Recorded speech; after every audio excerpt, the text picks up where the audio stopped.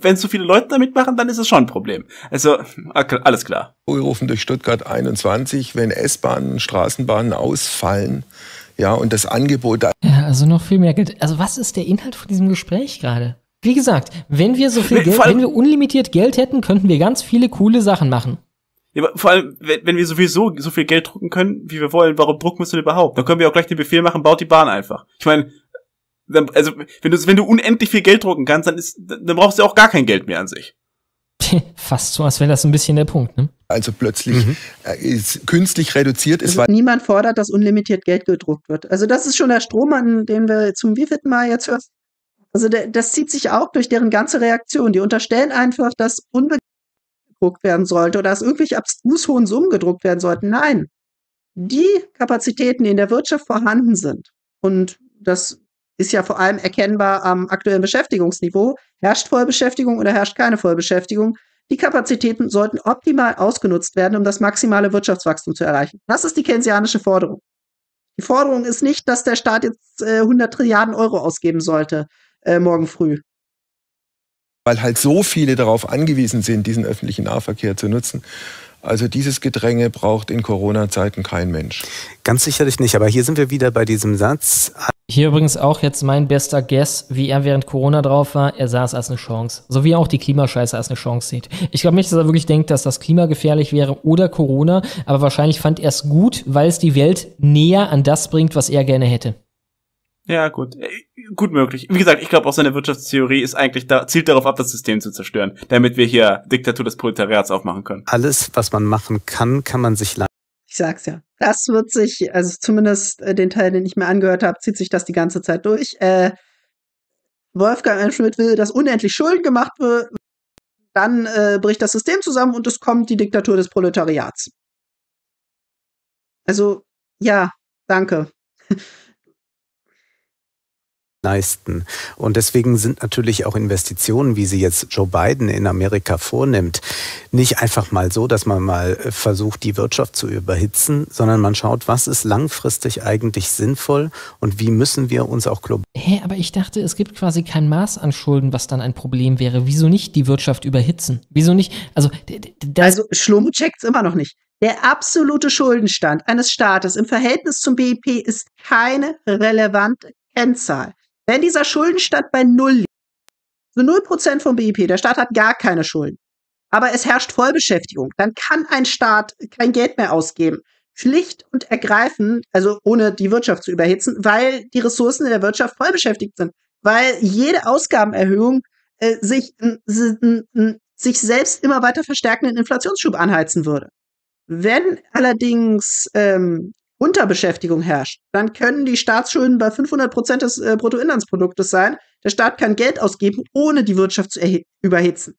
Der Staatsschuldenstand in Relation zur Wirtschaftsleistung ist keine relevante Kennzahl. Das ist das Argument.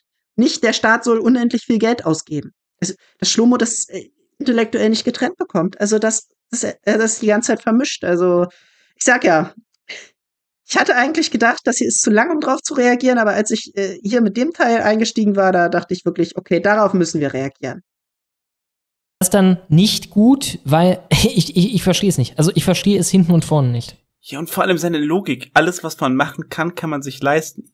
Ja, natürlich irgendwo, aber dann steht ja, da stände ja sofort dann die Logik hinter, okay, dann müssen wir die mexikanischen Ölquellen erobern. Also wenn wir jetzt in Mexiko einreiten, und denen einfach ihr Öl klauen, was wir machen können, dann können wir es uns auch leisten. Ich meine, äh, gerade bei König der Löwen war es doch die Ideologie, des, der Stärkere hat Recht oder das Böseste auf der Welt. Aber jetzt gilt, was man machen kann, kann man sich leisten. Die USA können eine Menge machen. Global aufstellen, um also, nur weil man etwas machen kann, ist es nicht unbedingt sinnvoll. Das Deutsche Reich konnte 1933 in einer brutalen Wirtschaftskrise offen Staatsausgaben extrem stark steigern und äh, für einen neuen Weltkrieg aufrüsten. War es sinnvoll, das zu tun? Hätte man das Geld nicht vielleicht in die zivile Infrastruktur ähm, investieren können und eine friedlichere Außenpolitik fahren können? Hätte man sicherlich machen können, aber man konnte es sich offensichtlich leisten. Also, und genauso könnten die USA sich ohne Probleme leisten, morgen in Mexiko einzufallen. Frage ist nur, wäre das sinnvoll? nur weil man etwas machen kann, ist es nicht sinnvoll, das zu tun. Also den Unterschied wird der Schattenmacher ja hoffentlich noch verstehen. Den Kapitalismus, wie wir ihn hier im Westen haben, zu retten? Beziehungsweise wie muss der Kapitalismus sich transformieren, um gegen den chinesischen Kapitalismus auch Aha. Also du bist, gibst gerade dem Kapitalismus, das System, das du mehr verachtest als alles andere auf der Welt, Tipps dabei, wie er am Leben bleiben könnte. Zu können, da ja dort mit fünf Jahresplänen, mit ganz langer Planung bis 2050 in einer anderen Weise Kapitalismus gemanagt Hey Leute, ich habe hier einen Aktionsplan, wie wir endlich mal den Antirassismus hier richtig auf den Weg bringen. Ne? Damit komme ich demnächst auf die Ecke. Also Die, die chinesische Wirtschaft hat noch und nöcher Probleme. Okay, zu China kommen wir gleich. Eine Frage aus dem Chat. Äh, ja, mit Libertären habe ich schon diskutiert. Schaut euch einfach die Deba Debatten auf meinem Kanal an. Also da, da ist schon genug. Libertärer mich um eine Debatte anfragen will, kann er das gerne machen. Probleme, weil die ja immer noch diese komischen Planungselemente drin haben und weil ja die ganze Zeit irgendwelche Blasen entstehen. Also die chinesische Wirtschaft hat in letzter Zeit ja auch eine mittlere Krise durchgemacht, also die ist nicht besonders angestiegen. Und wie, gesagt, es gibt, das ist ein Kanal, ich glaube Serpentenser oder sowas heißt der, beleuchtet das manchmal ein bisschen, dass die da irgendwelche Geisterstädte haben oder dass die riesige Friedhöfe für Elektrofahrräder haben, weil die einfach nur auf irgendwelchen Blasenspekulationen äh, innerhalb des kommunistischen Staates gebaut wurden, überhaupt keine Abnehmergrundlage haben. Ja, und langfristig leidet deine Wirtschaft dann darunter und das sehen wir jetzt unter anderem auch. Also die chinesischen Aktien äh, äh, performen gerade nicht supidupi. werden kann, als hier, wo wir alle vier Jahre eine Wahl haben. So. Also, dass der Schattenmacher an der Stelle nicht gemerkt hat, dass sich das selbst widerspricht. Also, obwohl, nee, er ist zu den Teil mit dem Aktien noch nicht gekommen. Dazu, dazu kommen wir jetzt. und noch nicht wissen, wer wird im Finanzministerium sitzen. Ein Christian Lindner, das wäre zum Beispiel Ja. ein Problem für einen solchen Ansatz, wie ich den ihr Ja, ja, weil der den vorstelle. konservativen Ansatz Ja, viel besser wäre, wenn da der große Winnie Pooh säße für die nächsten 50 Jahre und äh, da niemand was dran machen könnte. Also Schuldenbremse und möglichst wenig äh, Staatsausgaben und entsprechend refinanziert. Okay. Also, ich würde gern den Kapitalismus vor die Wand fahren, zu einem Punkt, an dem aus den Trümmern hervorsteigt, was ich mir so vorstelle. Und etwas Ja. doof finde ich dabei, dass die Leute noch alle vier Jahre gewählt werden. Denn wenn da einfach irgendwer sitzen würde, der das mal durchzieht, dann wäre es schneller vorbei. Kleiner, kleiner Exkurs, weil, weil Ich habe jetzt schon eine sehr viel klarere Vorstellung, was Wolfgang M. Schmidt möchte. Ja, ja. China ins Spiel bringst. Also, da gibt es einen chinesischen, äh, einen riesen, riesigen Immobilienkonzern, der Stand heute, wir zeichnen am 27. Äh, September des Jahres 2021 Und er, er ist auch machiavellistischer, als man erst so denkt. Ne? Also ich Ja. meine, er bringt das hier rüber für den Boomer so in dieser schönen, beruhigenden Stimme. Ja, Sie müssen wissen, dass eigentlich überhaupt kein Problem wird, wir hier alles komplett überladen mit Steuern, äh, mit, mit äh, Schulden und so weiter. Ne? Macht doch einfach, also dann können wir auch schön hier äh, Bahn fahren und so weiter. Ne? Ist halt wirklich wie, wie so eine Schlange. So richtig so.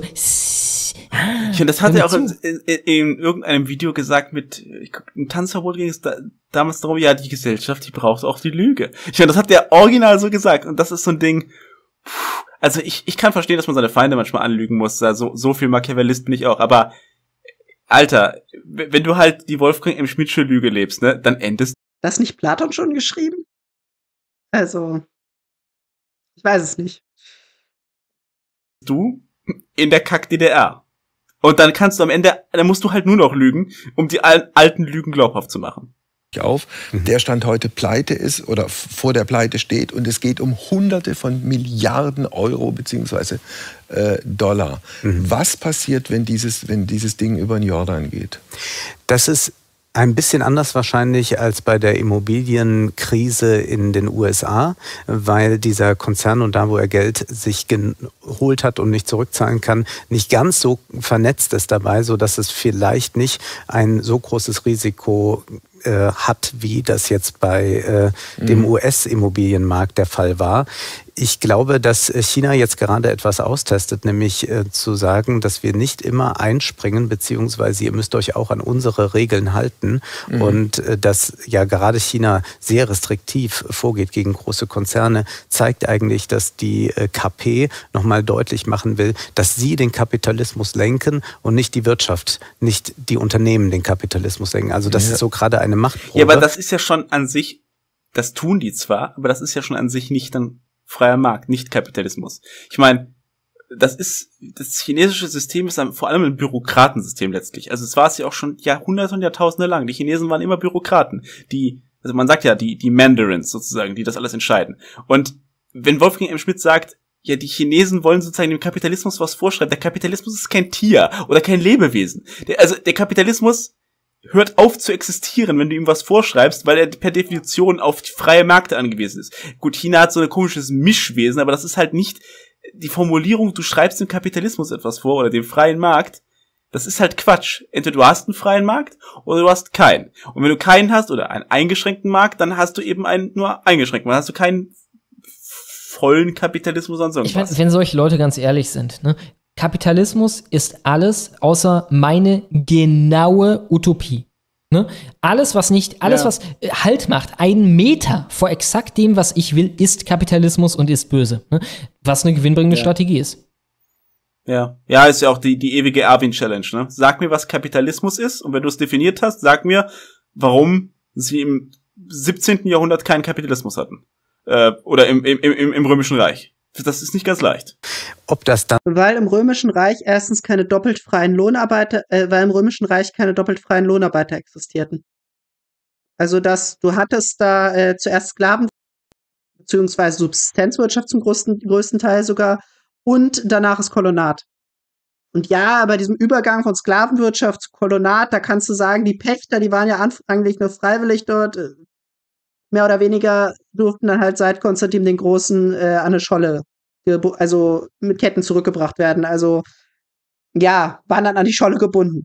Also das Kolonat ist eben eine andere Wirtschaftsform als äh, ja das System des freien Lohnarbeiters, der hingehen kann, wo er will. Ist jetzt nicht so schwierig zu äh, verstehen, oder? Es ist relativ einfach zu definieren. Du hast Kapitalisten, und du hast äh, doppelt freie Lohnarbeiter. Das äh, sind die Zutaten für einen Kapitalismus. Dann auch noch mal